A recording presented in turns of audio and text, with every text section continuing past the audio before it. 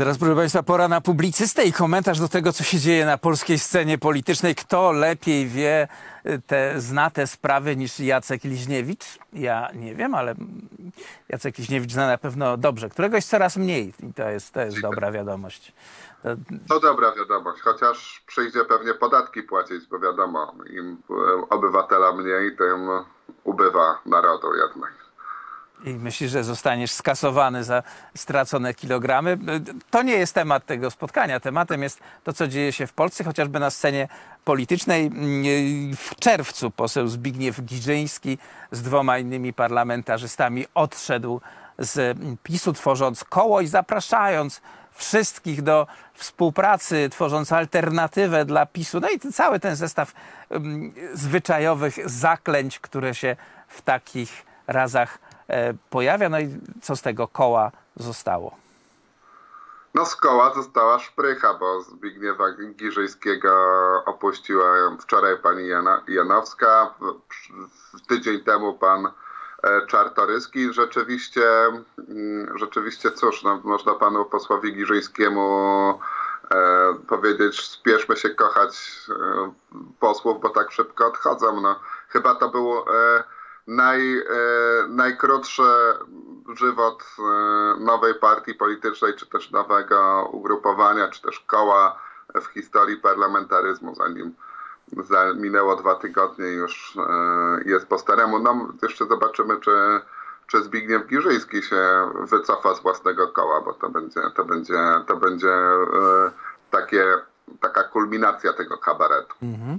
Ale czy waga tego głosu Zbigniewa Giżyńskiego będzie aż taka, by zapomnieć te słowa, które wypowiadał dwa tygodnie temu?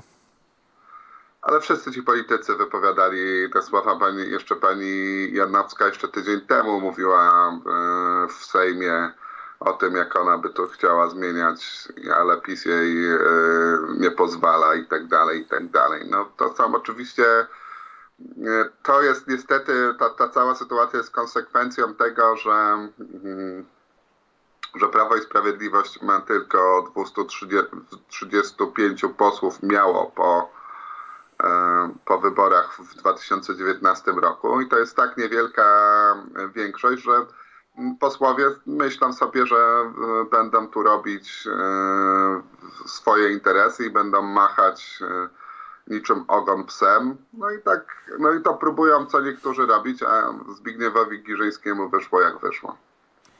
No więc przyszłość Zbigniewa Giżyńskiego to osobna sprawa. My teraz przyjrzyjmy się w takim razie tego, co czeka Donalda Tuska w świetle trwających, trwającego dochodzenia wobec Sławomira Nowaka. No nie da się powiedzieć Donaldowi Tuskowi, że nie zna człowieka. W ogóle nie, on był jakiś... Nie mówmy o tym, bo widać zdjęcia, wiadomo, że najbliższy współpracownik, e, pamiętamy ten słynny przelot nad przejezdną autostradą w 2012 roku. Pamiętamy szereg innych wydarzeń. E, i majowe zapowiedzi Donalda Tuska, zgodnie z którymi e, Sławomir Nowak był zatrzymany ze względów politycznych. Tak, jesteśmy sobie e, w szóstym roku rządów e, Prawa i Sprawiedliwości. Przez ostatnie sześć lat e, wszyscy tłumaczyli, wszyscy politycy opozycji tłumaczyli nam, że wszystkie decyzje personalne zapadają na Nowogrodzkiej i podejmuje je Jarosław Kaczyński, więc on jest za wszystko odpowiedzialny. No więc y, też prostą konsekwencją y, takich słów jest to, że w czasie, kiedy rządził Donald Tusk, on również jako łącząc funkcję przewodniczącego Platformy Obywatelskiej i premiera Rzeczpospolitej, również był za wszystko odpowiedzialny, więc sądzę, że w momencie, kiedy Sławomir Nowak brał łapówkę od Jacka K. za to, że tamten Jacek K. został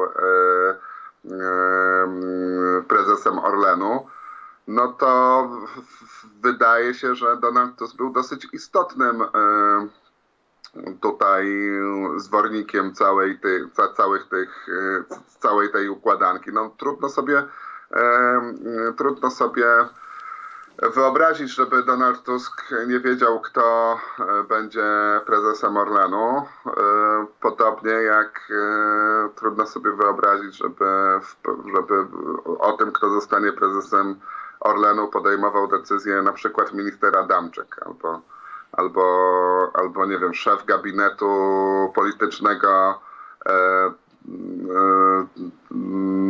premiera Morawieckiego, nawet sobie teraz nie, nie przypomnę, Michał Dworczyk albo, albo, albo ktokolwiek inny. No raczej jest to decyzja uzgadniana, więc e, sądzę, że Sądzę, że Donald Tusk e, również jest po prostu w, te, w, jakimś stopniu związany z tym e, gangiem Sławomira Nowaka. No też zwróćmy uwagę, że, że mamy oto taką też sytuację, że Sławomir Nowak no, znalazł się w tym, a nie konkret, w tym konkretnym momencie na Ukrainie. No, przy, przypomnijmy, że mm, w momencie, kiedy został on szefem Ukrawtodoru i jednostki budującej e, drogi na Ukrainie, został w nim w momencie, kiedy no, na Ukrainę szły ogromne środki również z Unii Europejskiej na Właśnie na budowę dróg. Mhm. Na budowę dróg. No a wtedy przypadkowo tak się złożyło, że, e, że szefem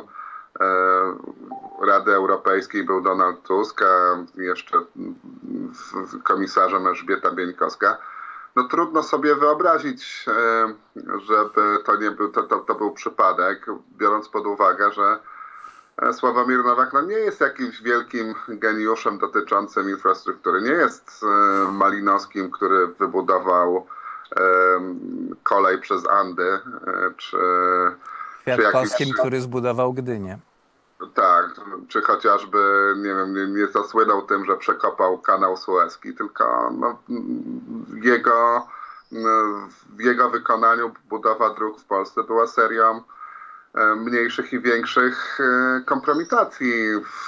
I tutaj nie ma się co oszukiwać, że został on doceniony za geniusz, tylko miał jakieś inne e, walory. No i tutaj. No tak, o, o, o jakości intelektu tego polityka świadczy fakt, gdzie ukrywał pieniądze. No, w skrzynkach, w meblach, w nogach od stołu to trzeba naprawdę mieć kreatywny umysł, żeby na coś takiego e, wpaść. E, to się będzie wlokło, to e, będzie tematem pojawienia się Donalda Tuska, czy też po powrocie z urlopu będzie jakiś inny Donald Tusk, nie taki zjadliwie agresywny, jak pojawił się na początku?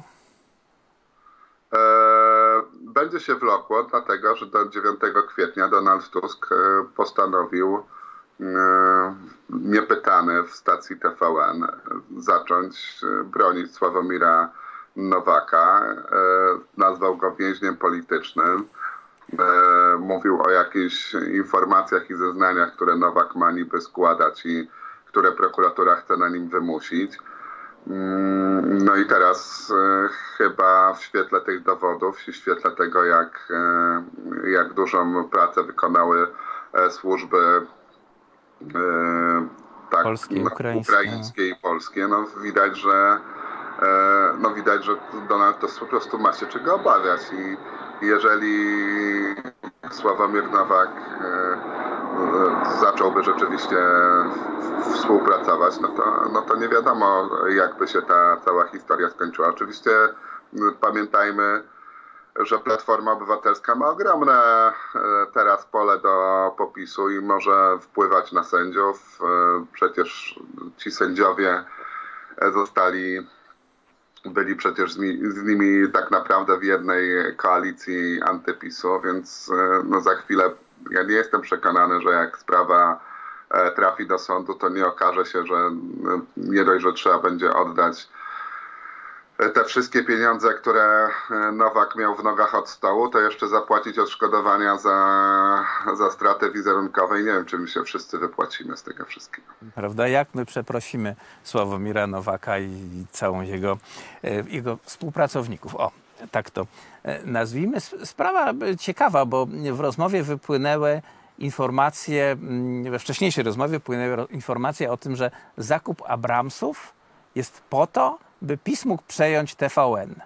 Nie wiem, czy słyszałeś taką wersję. Nie, nie słyszałem, to jest jakieś, nawet wydawało mi się, że, że, że, że do zdobywania TVN-u niepotrzebne są czołgi, ale nie, dawno nie byłem na ulicy Wiertniczej i to, to, to, to nie wiem, może tam się jakieś, y, jakieś pojawiły druty kolczaste, min, pola minowe i tak dalej. No, no na początku... Nie wiem, nie wiem ile, iloma dywizjami dysponuje TVN. Kiedy pojawiła się informacja o tym, że jest ustawa, zgodnie z którą należałoby unormować zawartość y, zagranicznego kapitału w polskich strefach medialnych. W TVN-ie zaczęto mówić, że no przecież tutaj stacjonują amerykańskie wojska i one przecież wyjdą, jeśli polski rząd będzie atakował amerykańską stację y, Discovery, no bo TVN jest częścią Discovery. Dzisiaj padła właśnie taka informacja, że zakup tych Abramsów, e, gigantyczna suma, ma przekonać Amerykanów, by jednak pozwolili PiSowi tutaj zrobić z TVN-em to, na co ma ochotę. Nie wiem, ja nie byłbym e, takim e, tropicielem teorii spiskowych. Wydaje mi się, że oczywiście pewnie ta ustawa jest w jakimś stopniu omawiana i, i pewnie jest dyskutowana, może być kartą przetargową, może PiS wykonał e, krok do przodu, żeby później się wycofać. Ja nie wierzę, szczerze powiedziawszy, że ta ustawa medialna w takim kształcie po prostu ostatecznie wejdzie w życie. No, to już tyle było radykalnych zmian, z których Prawo i Sprawiedliwość się wycofywało tym, tym bardziej, że widać e, po pierwszych e, tygodniach e, czy, czy kilkunastu dniach, że po prostu nie ma Prawo i Sprawiedliwość większości, żeby przeprowadzić tej, tej ustawy. Nie ma, w, nie ma jej w Sejmie i nie sądzę, żeby udało się zmusić posłów porozumienia. Myślę, w obronie. TVN-u wypowiedzieli się wszyscy ci, którzy zwykle się wypowiadają w kraju i za granicą. Podział jest zawsze taki sam. E, wewnętrzna jakby opozycja skierowana w stronę Niemiec, w stronę Unii Europejskiej, no i przedstawiciele e, tejże Unii, pani komisarz Jurowa na przykład, to nas prowadzi do Trybunału Konstytucyjnego i e, wczorajszego wyroku pokazującego gwarancję, ultra vires, to, że Trybunał Sprawiedliwości Unii Europejskiej nie może działać poza zakresem swojej odpowiedzialności, a myśmy zgadzając się na oddanie części e, odpowiedzialności e, Unii Europejskiej, nie oddaliśmy całości. Ta dyskusja się nie zakończyła. No oczywiście się nie zakończyła. No wydawałoby się, że wszyscy rozumiemy, jak mm, cenna jest suwerenność i jak cenne jest e, pewne samodecydowanie o sobie. Znaczy, jeżeli no proszę zwrócić uwagę, jakim absurdem byłoby, mm, gdyby przyjąć, że to wszystko, e, wszystko ma być poddane zarządzaniu z Brukseli. No i, i no, może skoro nie umiemy sobie tego wyobrazić, statystyczny Kowalski na, w systemie prawa, bo mu tu prawnik e, wytłumaczy, który ma w tym interes, że, to, że my powinniśmy się e, tutaj dostosowywać i, i być podlegli Unii Europejskiej, jeśli chodzi o system prawny, no to nie wiem, przełóżmy to sobie chociażby na, na armię albo na, e, na systemy walutowe. No, trudno powiedzieć, żeby na przykład urzędnicy unijni ustalali kurs złotówki albo stopy procentowe, albo albo wszystkie, e, albo nie wiem, ilość drukowanych pieniędzy w, w, polskich, w, w polskich złotych, no wydaje, wydawałoby się, że to jest absurdem. No tutaj, I tutaj jest w pewnym sensie to samo. No, nie może być tak, że mm, nie mając kompetencji za e, system sprawiedliwości, bo, no bo nie ma, bo, bo nie przyznaliśmy w traktatach, e, w traktacie lizbońskim ani w traktatach E, wcześniejszych e, prawa do tego, żeby e, no, budować, żeby Unia Europejska nam budowała system wymiaru sprawiedliwości. No nie może być tak, że nagle im się przypomina, że oni będą tu ingerować i interweniować w sprawie, gdy robimy sobie tą czy inną reformę. No to, Profesor Legutko mówi, że to jest polityczny atak na Polskę. Czy zgadzasz się z tą opinią? E, przepraszam jeszcze raz. Profesor Legutko, europoseł Prawa i Sprawiedliwości, europejskich reformatorów, i konserwatystów, konserwatystów i reformatorów mówi, że jest to polityczny atak na Polskę. No i konsekwencją jest to, że trzeba to po prostu wytrzymać i pokazać im, że z tego ataku nic nie wyjdzie. No oczywiście, że jest to polityczny atak na Polskę. No problem jest tylko taki, że Polacy są mm, politycznie bardzo podzieleni i, i część e, najchętniej oddałaby się pod e, okupację Unii Europejską i taką w pełni, tak? w pełnym tego słowa znaczeniu i, i chętnie by w ogóle zlikwidowała rząd i przeniosła go po prostu do Brukseli, niech Europarlament rządzi. No i to niestety niestety tak wygląda. No, wolą mieć. Problem jest taki, że duża część Polaków woli nie mieć żadnego rządu niż rząd Prawa i Sprawiedliwości, albo mieć rząd niemiecki zamiast rządu Prawa Trochę i Sprawiedliwości. tak jak z wojskiem jest, i płaceniem podatków na wojsko. Jeśli się nie płaci na swoje wojsko, to będzie się płacić na wojsko, które nas pobije. Jacek Liźniewicz, publicysta. Dziękujemy bardzo. Dziękuję Życzymy wszystkiego najlepszego, życzymy miłego dnia przede wszystkim, a Państwu również życzymy wszystkiego najlepszego, bo za moment Jerzy Bielewicz, finansista, będzie naszym gościem.